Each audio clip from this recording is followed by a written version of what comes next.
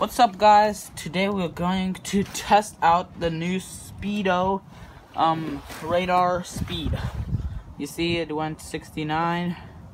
We're gonna do that today. Already test the shots out today. Um, we're gonna be doing slap shots, snapshots, and shots.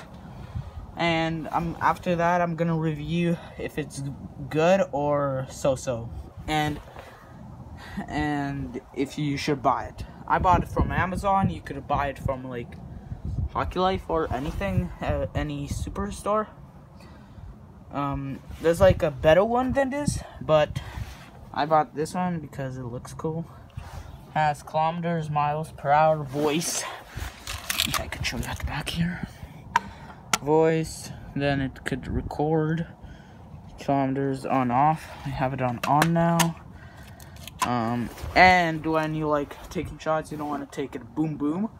Like, you don't want to do that because you have to wait five seconds. So, yeah, keep in mind, and let's get into the video. Hope you guys enjoy, and see you. Okay. I'm gonna be also telling you guys what speed I shoot. So let's get into the video. I have a couple of hooks here. Let's go.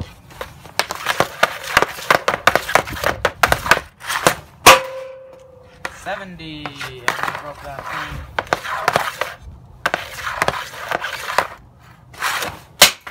Sixty-one.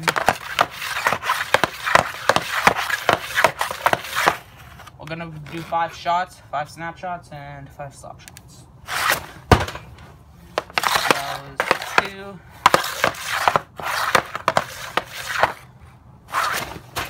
Sixty-six.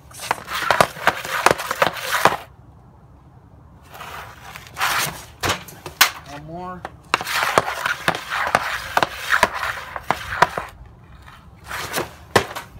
Okay, 61. Swap. Snapshots, guys, now. Snapshots. About one. That is what I'm talking about. And also, you don't want to go high up. But I'm going to explain all of um, after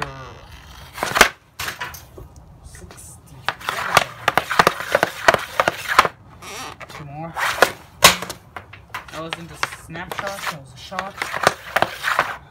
Two more 64. 70. One more. 58. Okay. I'm gonna move you guys back to the slap shot part because I don't want to hit you or anything because I'm gonna kill my camera if I do that. Okay, let's go. 74.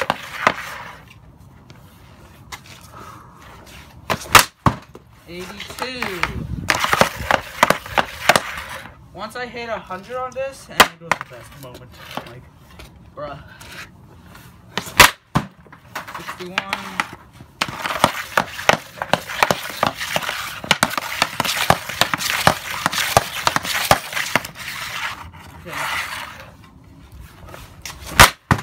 81.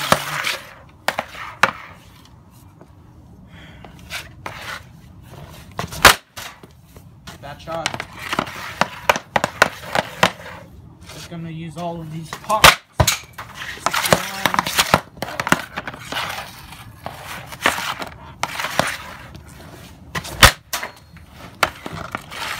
I'm gonna break that like that. Shit. Shoot. That was 87.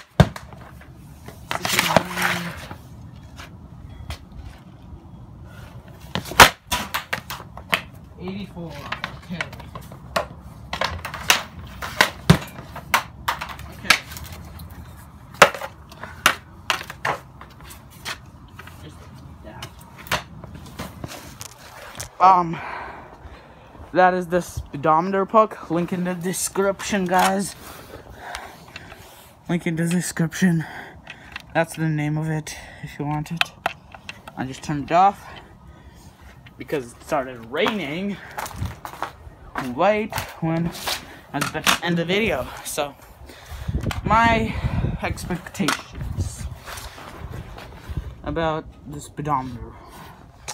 Well, about the speedometer, I think it's so-so. For you, if you have a hard shot like me, um, I guess you could buy it. But if you're like in the NHL or uh, higher, you can't go higher. I'm so I'm not smart. Um, or higher, you have to buy like those pro, like when you see at All Star games and stuff. And also like, um, yeah, the good part about it is like you could put in miles or kilometers per hour, which some radars don't do. Like, and also this radar, if you're like a sports person, it goes for tennis, golf, basketball, every sport you think of, it goes for. It's usually I put it at the side because it's like gets more like speed, and it's not gonna break like I'm gonna tell you right now. That you have to put it behind the net because they say it's gonna work, it's gonna work. But for real, if you don't have good accuracy, you're gonna you're just gonna break the expensive radar. And that ends it off here. Don't forget to like and subscribe, and I will see you in the next video. Bye.